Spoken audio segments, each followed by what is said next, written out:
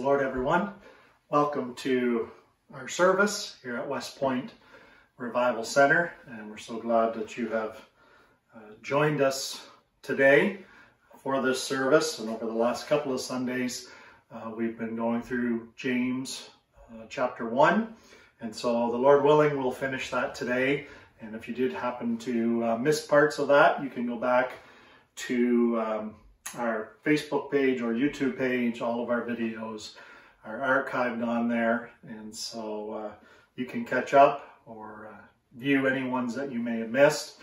And so we're thankful uh, that you're with us today for this service. We want the Lord uh, to move and to minister. You know, this just isn't a ritual. This just isn't because, well, we have to do this because we're Christians. Um, are we really Christians? Are we really following Christ if it's if we feel like we have to do it, if we're just checking off the boxes? But if we understand by reading his word and obeying his word and because we love him and we're so thankful for the sacrifice that he has made for us, um, we'll want to do it uh, because we understand the importance of gathering together and being together and how important it is. Uh, God's not, God's, it's not his desire for us to do this alone, not even with him. Adam uh, communed with God, and God said, It's not good that man should dwell alone. And that's not just talking about in a, in a marriage, intimate relationship, uh, but even God understood our makeup because he created us and how important it is for us to have fellowship and be together. And so, uh, if we're married, that spouse uh, to encourage and to help us and work with us. And if we're single, uh, then we connect with other people uh, to encourage us and help us, and um, someone we can talk to face to face. And um, even though God supplies all of the need uh, that we have, He understood the importance of connection. As humans, we need connection with other people. And that's one of the sad things and such a dangerous thing of this pandemic is that it's separating people. Uh, social distancing, right? And and stay home and, and all this stuff. And, and listen, we're not being political here this morning, but connection is so important. Um, if the world can divide us, if the world can separate us, if if we think we can get along with just social media or just even watching church online, and sometimes that's a person's only option. I understand that. Uh, but most of the time it's not.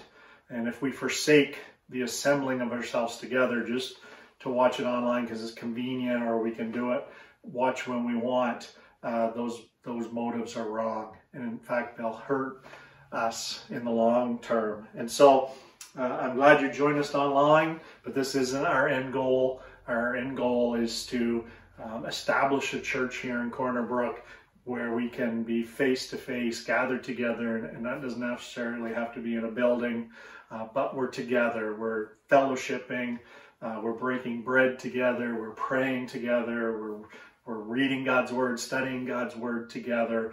And so uh, we're praying, and, and we've faced many obstacles in trying to get our in person services started. Uh, but God is making a way, and, and we hope to share some good news with you um, shortly. But uh, we're just continuing to move on, and that's why Bible studies, that's why home groups um, are so important to connect that way. And uh, uh having a coffee together, or tea, or whatever it may be, um, having a meal together. Uh, fellowship is such an important part of the church. But uh, if you're interested in a Bible study, being a part of a home group, uh, please reach out to us. something that we need to do on a weekly basis. We need to be faithful to those things if we're going to be mature and strong Christians, if we're not going to allow our flesh to rule our lives, if we're not going to allow the devil uh, to be our master. And um, we need that weekly uh, fellowship together, that weekly studying God's Word. We need that daily Bible reading, daily prayer. Those disciplines are so important in our lives. We want to go to the Lord in prayer today. And of course, uh, many of us have uh, needs that we want to pray for. And so uh, let's take these needs to the Lord together in prayer. You can voice those needs to God um, yourself with your voice, uh, no matter where you are. Uh, but together we can join together in corporate prayer as well, uh, seeking the Lord. And I'm thankful that He hears and answers prayer. Doesn't always give us the answer that we want, uh, but that doesn't mean He doesn't answer it um, because He knows what's best for us. But uh, we place our trust and our faith in Him. So let's pray today. Jesus, we're thankful for this day. God, we're thankful for your goodness and mercy to us. And uh, we appreciate the opportunity to gather together uh, through this video, through online, Jesus, to study your word, to preach your word, Lord God, uh, to grow as disciples who will worship you in spirit and in truth, Jesus. God, I pray for the many needs uh, that people have.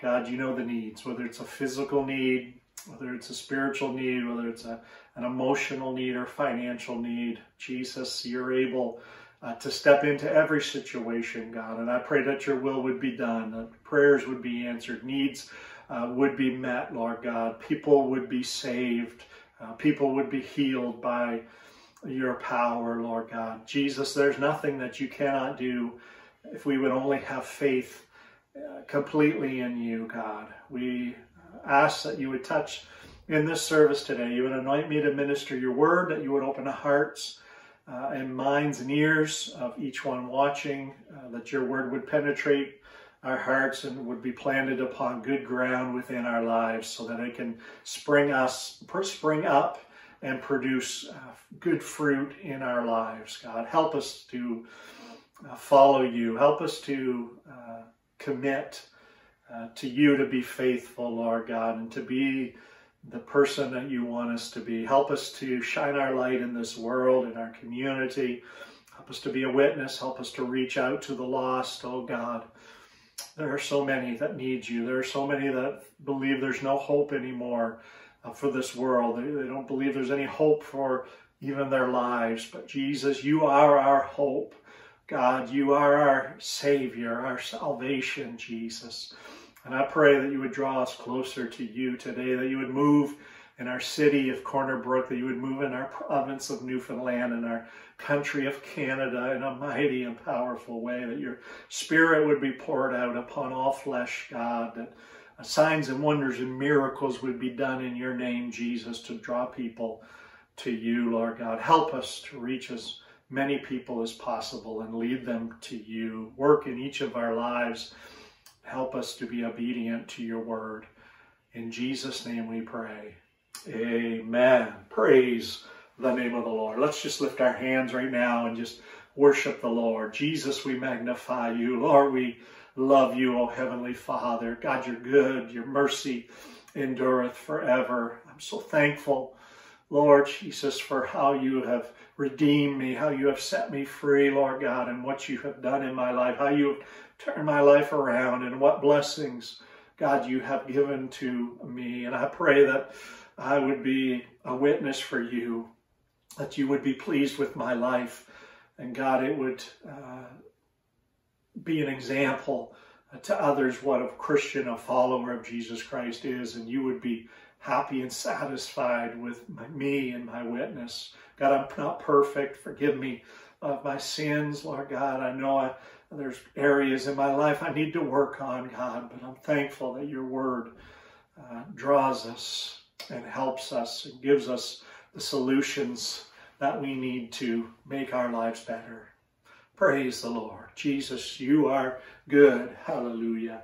Praise the wonderful name of the Lord. Amen. Hallelujah. I feel his presence right now. What an honor it is to serve him what an honor it is to feel his presence. If you would just reach out to him as well, I know you could feel his presence as well and allow him to draw you and allow him to mold and to shape you after his will. Praise God, because it's so important that we make heaven our home. It's so important that we are right with God so that we can spend eternity with Him. If there's any sin in our life, it needs to be repented of. We need to turn away from it and walk in newness of life. Praise God. Hallelujah. So we've been talking about James chapter 1, and oh my goodness, there's uh, just so much uh, we, we can learn from James, from the book of James, but uh, especially from chapter 1 as we've been going through it. And um, it just makes us better people, makes us better Christians, and it helps us to live victoriously over sin in our lives. Praise God. We finished up with uh, verse number 21 of chapter 1. Um, we talked about 2 Timothy 3 and 16. All scripture is given by inspiration of God and is profitable for doctrine, for reproof, for correction, and for instruction in righteousness. The Word of God is alive. It's, it's a manual on how to live uh, according to God's plan and will for our lives. But it also, uh, it rebukes, it corrects, it instructs us. And, and we need all of those things in our life. And so let's move on uh, to verse number 22 this morning, James 1 and 22. I'm reading from the Modern English Version. Uh, but keep your Bible open, follow along with these scriptures. Be doers of the word and not hearers only, deceiving yourselves. Be doers of the word and not hearers only, deceiving yourselves. You see, if all you do is hear the word, you can be deceived into thinking that uh, you're going to be right with God, that you're going to uh, spend eternity with Him, that you're going to be saved. But it takes more uh, than just hearing. Too many people hear the word, but don't go any farther. It's not enough just to hear the word. It's not enough just to believe in God and accept Him as your Savior. You have to follow His word and be obedient to it. We have to hear it, but we also have to be doers of the word. We have to apply it to our lives.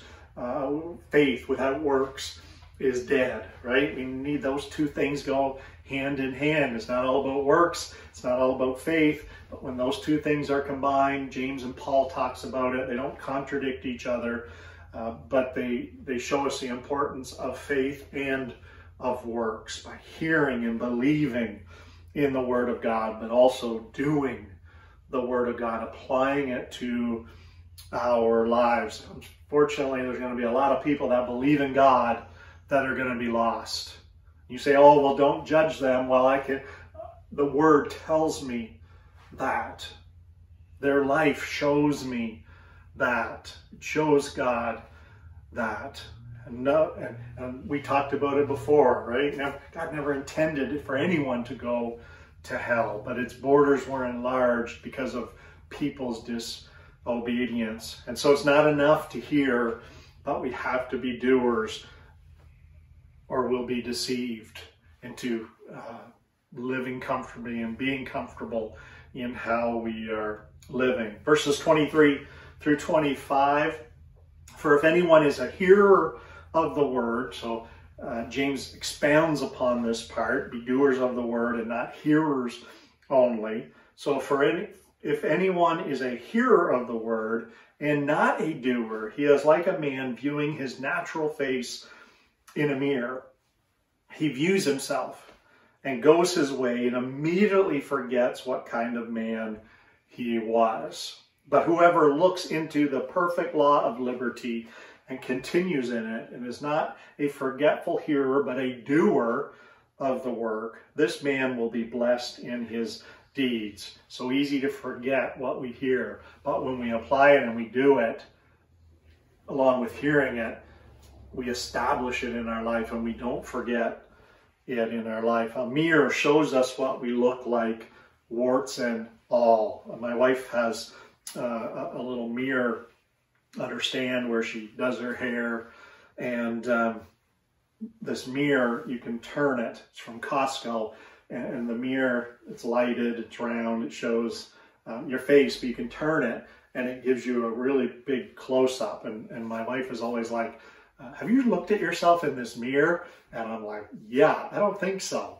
I mean, a big mirror shows me enough. Uh, but if you look through that little one, I mean, you can think, eh, my skin is nice, you know, I look pretty good. But you look in that mirror that that that magnifies, you know, every skin pore. And it's like, oh my goodness, look at the dirt in that skin pore, you know, skin. Look at the the blemish, the wart, right on my uh, face. Oh my goodness, I never saw that wrinkle, right? We may not see that any other way but by looking in the mirror. Well, the Word of God does the same thing as that mirror. The Word of God shows us the good in our life, uh, but it also shows us our faults, our weaknesses, our sins. But I'm thankful that it doesn't stop there. It just doesn't show us uh, where we need to improve in our life. It just doesn't show us where we fall short in our lives because we've all sinned, right? Uh, none of us is worthy of salvation to, and to be saved. Uh, but it also shows us what to do to fix it. Right? It just doesn't leave us in a negative uh, spot. It just doesn't beat us up and say, you, you know, you've sinned, you're weak, you're no good, uh, you can't measure up to God's love, you're not worthy, uh, you're a sinner, on and on and on, which we are and which is true, but it also tells us this is how you fix it. You put on His righteousness because Jesus Christ uh, shed his blood on Calvary, died, and rose again the third day.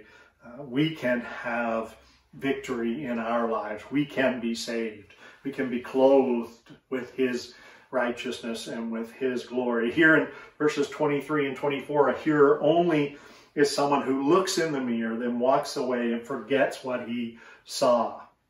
Uh, you can look and say, oh my goodness, you know, I, I, what's that bump on my face? But then if you leave for the rest of the day and you're not standing in front of that mirror, uh, you forget, right? You might forget about it. Well, maybe not a bump because you'd feel it. Uh, but if there was a red blotch on your face, you could forget about that during the day because you're not standing in front of that mirror. You, you've seen it, but you've walked away. Uh, you have a big interview or a date and you look in the mirror and you see mustard on the side of your face and, and you tell yourself, well, I need to remove that. And then you walk away and you go to your interview or your date and, and the interview goes bad and, and the person's like, oh, that was nice, but I'm not interested. Uh, and you're like, why? And they're like, well, you got mustard on your face. Oh, well, I knew I was supposed to do something about that. Well, why didn't you? Right? You've got to do both of those things. That uh, perfect law of liberty is the gospel. If we hear the gospel and respond to it, then we will be blessed. But to hear it and then forget it is of no benefit. We can we can be watching this video, participating in the service. We can go to church and hear the word of God. It can convict us, and yet if we don't do anything about it and we walk away, we forget what has transpired uh, in our life and it ultimately doesn't do any good in our life because we heard it, but we didn't apply it to our life. One commentary said it this way it is not talking but walking that will bring us to heaven. A lot of people talk about God, a lot of people talk about how they love God, but it's not the talk, it's in the walk that matters. Hallelujah. James chapter uh, chapter 1 verse 26 if anyone among you seems to be religious and does not bridle his tongue oh, but deceives his own heart this man's religion is vain. Can you tell by how someone talks? If they're a christian if they love god if they're a follower of jesus christ? Absolutely. Yep. You can. You can in a vain religion, there is much show. It's all about just checking off the boxes, all about just works. When people are more concerned to seem religious than be religious, their religion is in vain. That was what the Pharisees were all about. They, they dressed up, they had the best clothing, they looked the best, they, they went around and, and they, they said you know, all these things. They quoted the Torah, the law. Uh, they talked, you know, uh, great sermons and so on. And listen, nothing wrong with those things in their place. But inside, Jesus saw their heart. In fact, Jesus was probably the hardest on anyone. It was the religious people that looked religious on the outside. Made it look like they were religious to everybody else, but on the inside, they were sepulchres, whited sepulchres. Inside, they, they were vipers, a den of vipers. Uh, they were ravenous wolves. They were hypocrites. And Jesus was hard, hard on that, much harder than he was even sinners. Now, again, that doesn't excuse anyone's sin, and those people, sinner will be just as lost as a Pharisee, as a hypocrite, as a person that, that talks the talk but doesn't walk the walk, because that's vain religion. Matthew 15, 8 and verse, verses 8 and 9. This people draws nigh unto me with their mouth, right? And honors me with their lips. It's easy to give lip service to God, right? And talk and in going to church and, and saying the right words and knowing the, the church terminology and language, but their heart is far from me. But in vain they do worship me, teaching for doctrines the commandments of men. Unfortunately, too many religions have gotten that to that place. They just teach the doctrines and commandments of men, not the word of God. We need to be careful that we don't just come to church to put on a show or try and fool someone. We can fool our parents, we can fool our neighbors, we can even fool our pastor sometimes, but we can never fool God. He knows our hearts, He knows our inward desires, and we can say we love God all we want, but if inwardly the desires of the flesh are winning in our life, if inwardly all we care about is is doing what feels good, then our religion is in vain. Vain religions adopt a lot of the world's views. Well, this isn't sin anymore. Well, yeah, the Word of God says that, but that doesn't mean that anymore. They've changed their views. No longer is homosexuality a sin. No longer is living together a sin. No longer is drinking a sin. No longer is swearing a sin. No longer, you know, is is whatever a sin any longer. We need to change with our times and with our culture, but God's word doesn't change. He loves every single soul, but he hates sin. And so we have to be right with God. We have to ask for forgiveness of sin. We have to turn away from those sins and walk righteously and holy before our God. A vain religion talks about one another's faults and shortcomings. It looks down upon other people. Vain religion makes me look holier than anybody else. It makes me think that I'm better than other people when we've all come short of the glory of God. That without Christ and His grace and His mercy, I'm a sinner condemned to be lost. If it was not for, without the grace of God, I could not be sin, saved. Luke 18, 9 through 14, and he spake this parable unto certain which trusted in themselves that they were righteous and despised others. Well, there's vain religion. You're supposed to be righteous, but you despise other people. Listen, we're to despise sin. We're to hate sin, but we're to love everybody. We're to help as many people as we can, and we can do that without uh, acknowledging uh, or overlooking their sins. Two men went up into the temple to pray. The one, a Pharisee, a religious person, a, a godly person, and the other a publican, uh, the, the scum of the earth, the worst, the, the, the sinner of all sinners.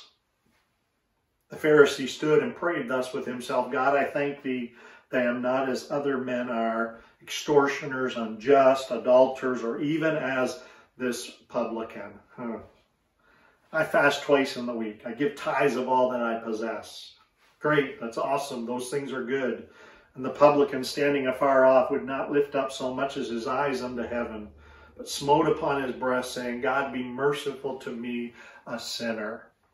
I tell you, this man went down to his house justified rather than the other, the Pharisee. For everyone that exalteth himself shall be abased, and he that humbles himself shall be exalted.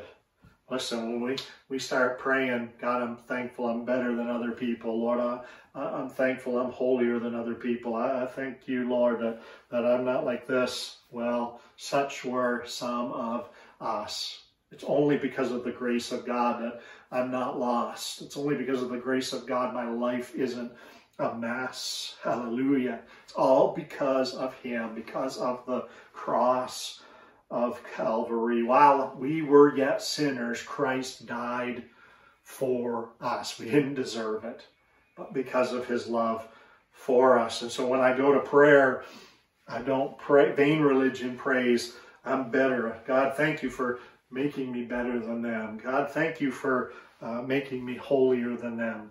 God, I'm so thankful I'm not like this person in our church who, who does this and does that. I'm so much better, Lord. Let me give you a list of all of the things that I do. That's vain religion. Matthew 12, 34 through 37. O generation of vipers, how can ye, being evil, speak good things? For out of the abundance of the heart the mouth speaketh. A good man out of the good treasure of the heart bringeth forth good things and an evil man out of the evil treasure brings forth evil things. But I say unto you that every idle word, whew, thankful all my words are under the blood today. But I say unto you that every idle word that men shall speak, they shall give account thereof in the day of judgment. For by thy words thou shalt be justified, and by thy words thou shalt be condemned. You better hope this morning that your words are covered by his blood, that you've repented of those words, those evil words, those unflattering words, those mean words. Listen, none of us are exempt from that because we're human and we make mistakes sometimes. The words we say at home or school or at work or the words we say uh, by ourselves or, or with someone else, our actions at school or at home or at work or when we're by ourselves. We'll give an account for all of that. Thankfully, if we've repented, genuinely repented of those sins, if we've been uh, baptized in His name, His blood is washing those sins away in our lives. Thank you, Jesus. James 1 and 27, religion that is pure and undefiled before God the Father is this to visit the fatherless and widows in their affliction and to keep oneself unstained by the world.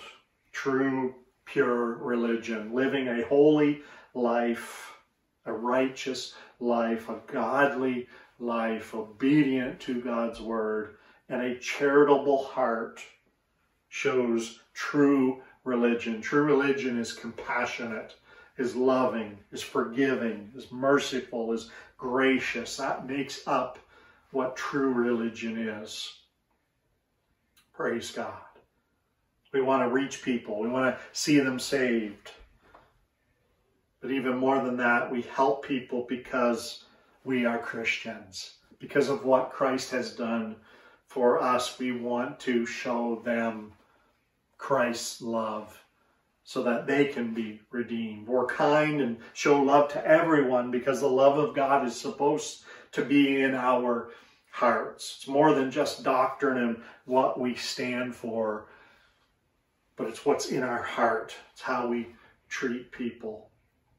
There are lots of religions out there, but this world needs true religion, true, pure religion needs to see disciples that worship Jesus in spirit and in truth. And unfortunately, it only takes one generation to lose true religion as we see in our world today. Many denominations no longer stand for what they used to stand for. We've got to stand for the Word of God. Judges chapter 2, uh, verses 7 and 8, and 10 and 11. And the people served the Lord all the days of Joshua and all the days of the elders that outlived Joshua, who had seen all the great works of the Lord that he did for Israel. Joshua, the son of Nun, the servant of the Lord, died being 110 years old. And also all that generation were gathered unto their fathers. And there arose another generation after them, which knew not the Lord, nor yet the works which he had done for Israel. And the children of Israel did evil in the sight of the Lord and served Baalim. What a, a sad portion of Scripture. I'm sure that Joshua and the elders told the next generation, told their, their kids, uh, their grandkids, great grandkids about the Lord. These kids, the, the, this other generation watched uh, Joshua and the elders serve God and, and, and love God and be uh, obedient to God's word. But that generation never got a hold of God for themselves. They, they didn't see the miraculous things that God did for them to get them to the promised land. And, and so, because they didn't have their own relationship with God, own experiences with God, they did evil in his sight and served false gods. Vain religion won't save anyone. It just puts people in a false state thinking that they are right. But True religion will cause us to have an experience with God that will ultimately change our lives. 1 Samuel 4 3 through 5. And when the people were come into the camp, the elders of Israel said, Wherefore hath the Lord smitten us today before the Philistines? They were losing against their enemy. Let us fetch the ark of the covenant of the Lord out of Shiloh unto us, that when it cometh among us, it may save us out of the hand of our enemies. Hmm. Their relationship with God had just become a, an it, an object. They thought that the Ark of the Covenant, that this, this box basically would save them. It may save us when it cometh unto us. Not Let's pray unto God. Let's pray unto our Savior. Let's seek God. They took an object that represented God and said, we'll just put that and walk with that as we're fighting, and it will save us. So the people sent to Shiloh that they may bring them from hence the ark of the covenant of the Lord of hosts, which dwelleth between the cherubims. And the two sons of Eli, Hophni and Phinehas, were there with the Ark of the Covenant of God. And when the Ark of the Covenant of the Lord came into the camp, all Israel shouted with a great shout so that the earth rang again. But the problem was they weren't right with God. Problem was is they weren't serving God with their whole hearts. They weren't living a life that was pleasing to God, but they thought that this representation, the statue or this pin or this necklace or whatever you want to substitute in there for the Ark of the Covenant, that, that you know, my, my parents' relationship with God or my pastor's relationship with God or whatever it may be, when they saw this, they didn't even realize that God wasn't with them. Verse 10, and the Philistines fought, and Israel was smitten, and they fled every man into his tent. And there was a very great slaughter, for their fellow Israel 30,000 footmen. Verse 21, and she named the child Ichabod, saying, The glory is departed from Israel, because the ark of God was taken, because of her father in law and her husband. And she said, The glory is departed from Israel, for the ark of God is taken. It will save us. Vain religion. True religion also means being unspotted from the world, refusing to let the world corrupt us. We're in the world, we're a part of the world, we're reaching the world. Yet we don't allow it to corrupt us. We can live above sin while reaching sinners. We can live above sin while helping those that are living in sin come to God. God gives us his, his spirit living inside of us. If we're walking in the spirit, is strong enough to keep us from sin. Romans 12, 1 and 2, I beseech you therefore, brethren, by the mercies of God, that you present your bodies a living sacrifice, holy acceptable unto God, which is your reasonable service. Reasonable service. Be not conformed to this world, but be transformed by the renewing of your mind, that you may prove what is that good and acceptable and perfect will of God. 2 Corinthians 2, 17 and 18. And what agreement hath the temple of God with idols? For ye are the temple of the living God. As God hath said, I will dwell in them and walk in them, and I will be their God, and they shall be my people. Wherefore come out from among them and be separate, saith the Lord, and touch not the unclean thing, and I will receive you. 1 Peter 2 and 9, but ye are a chosen generation, a royal priesthood, a holy nation, a peculiar people, that you should show forth the praises of him who hath called you out of darkness into his marvelous light. We are changed. We're no longer living in darkness. Light is flowing uh, in us and through us. Hallelujah. But yet we're still in the world, reaching the world, loving people, uh, uh, affecting the world, trying to um, keep it as godly as possible, not allowing sin um, and wickedness to rule. Praise God. Being a part of this world uh, to show people the love of God and what being a testimony of what God can do in a person's life when they surrender to Him. That's true religion, that we love one another. We share the love of God with other people, and yet we remain pure and holy and righteous before the Lord. Hallelujah. And that's not always easy to do in the world that we live in, is it? Praise God, because uh, it's unfortunately the minority that has the voice right now. It's the minority uh, that seems to uh, be calling the shots and, and has the media's uh, favor. And if we disagree with them, they shout us down. They make us uh, look bad. They try to intimidate us. But we have to live for God and be what God wants us to be we gotta be careful we don't get so mixed up in, in the political things of this world and the social things of this world. We just need to live for God and live by his commandments and share the word of God with other people. And when other people begin to uh,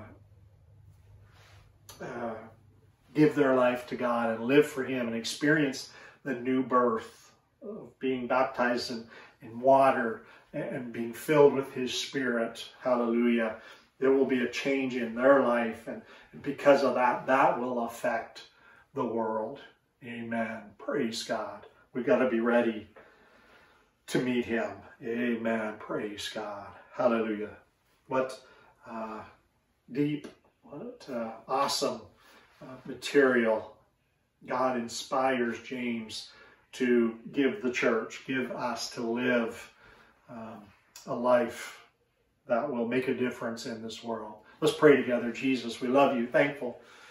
Oh, Lord God, for your word today, Jesus. And I pray that we would not just be hearers of your word this morning, God, but that we would be doers as well. The word that we've heard today, the scriptures that we've read, God, that we wouldn't just hear them and then uh, sign off after this uh, service is done and, and go about our day and forget about what was said, but we would apply it to our life, that it would change us, that God would be able to mold and, and shape each one of us according to his will and his plan, that we would humbly uh, come before him with an, uh, uh, a repentant heart and an open spirit so that he could mold and shape us to be effective disciples for Him. Help us, Jesus, I pray, in this world to stand for truth, but yet at the same time love people as you do, Jesus. God, let us be the church. Hallelujah. Let us be true Christians. Let our uh, religion not be in vain today, I pray. Bless each one, I pray. Just heard your word today, God, and I pray that it would make a difference in their life. In Jesus' name, we pray. Amen. Praise God. Hallelujah. Thank you for joining us today. As always, we've got some slides at the end here uh, that gives you some information on our website, on our Facebook page, our YouTube page, uh, our Instagram. You can follow us on all those social media aspects. Uh, please like and, and uh, follow us, subscribe, uh, share our videos. If you've got a prayer request, if you've got a need, please contact us. That information is, is on those um, slides here at the end of this video. Uh, we just want to do what we can uh, to help you in your walk with God. And the Lord willing, uh, we'll see you next Sunday. But until then, let's continue to draw closer to God uh, through His Word, through His Spirit. Amen. God bless you today. Have a great day.